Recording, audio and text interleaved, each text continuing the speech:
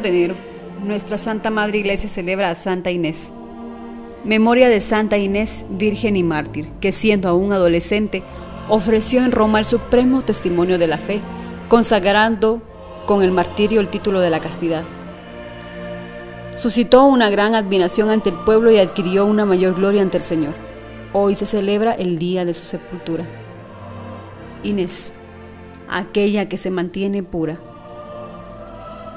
Hay muy buenos documentos sobre la existencia de esta mártir que vivió a comienzos del siglo IV y que fue utilizada a los 12 años durante la feroz persecución de Diocleciano. Su popularidad y su devoción hacen pensar que no son improbables las leyendas que se nos han transmitido de boca en boca y también con escritos. Basado en una tradición griega, el Papa Damaso habla del martirio de Santa Inés sobre una hoguera pero parece más cierto lo que afirma el poeta Prudencio y toda la tradición latina, es decir, que la jovencita después de haber sido expuesta a la ignominia de un lugar de mala fama, por haberse negado a sacrificar a la diosa Vesta, fue decapitada. Así comenta el hecho San Ambrosio, al que se le atribuye el himno de honor de Agnes Eatae Virginis. En un cuerpo tan pequeño, ¿había lugar para más heridas? Las niñas de su edad no resisten la mirada airada de sus padres y las hace llorar el piquete de una aguja. Pero Inés ofrece todo su cuerpo al golpe de la espada que el verdugo descarga sobre ella. Alrededor de su imagen de pureza y de constancia en la fe, la leyenda ha tejido un acontecimiento que tiene el mismo origen de la historia de otras jóvenes mártires, Ágata, Lucía, Cecilia, que también encuentran lugar en el canon romano de la misa. Según la leyenda popular, fue el mismo hijo del prefecto de Roma el que atentó contra la pureza de Inés. Al ser rechazado, él la denunció como cristiana y el prefecto Sinfronio la hizo exponer en una casa de mala vida por haberse negado a rendirle culto a la diosa Vesta. Pero Inés salió prodigiosamente intacta de esa difamante condena porque el único hombre que se atrevió a acercarse a ella cayó muerto a sus pies. Pero el prefecto no se rindió ante el prodigio y la condenó a muerte. Un antiguo rito perpetúa el recuerdo de este ejemplo heroico de pureza. En la mañana del 21 de enero se bendicen dos corderitos que después ofrecen al Papa para que con su lana sean tejidos los palios destinados a los arzobispos. La antiquísima ceremonia tiene lugar en la iglesia de Santa Inés, construida por Constantina, hija de Constantino, hacia el 345.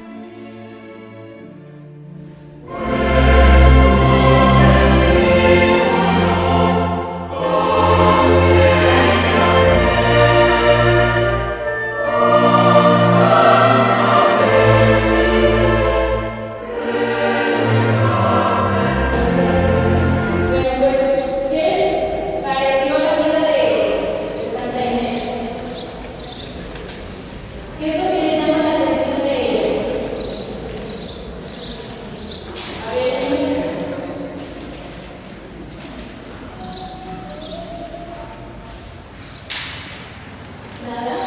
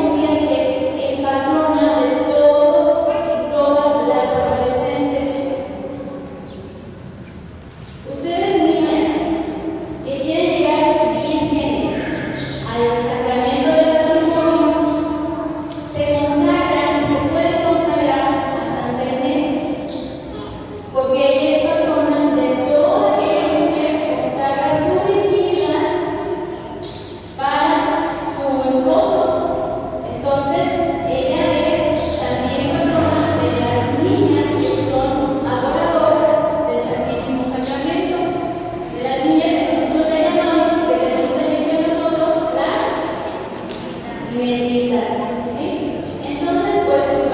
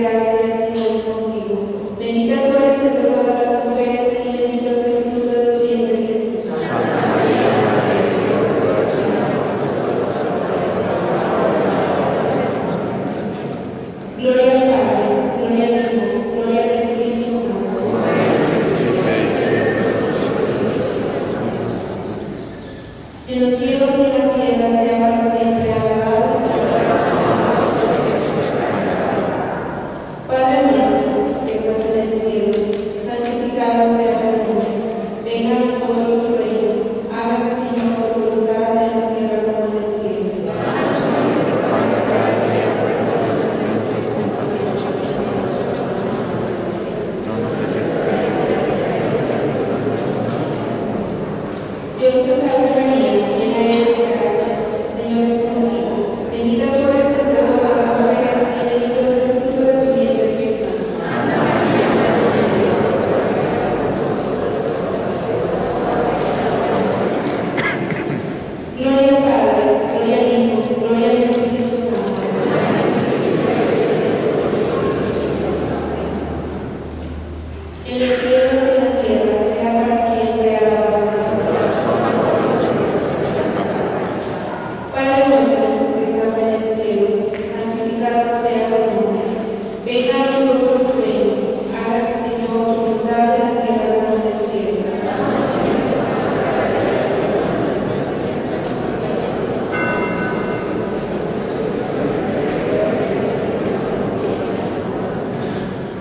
Dios te salve María.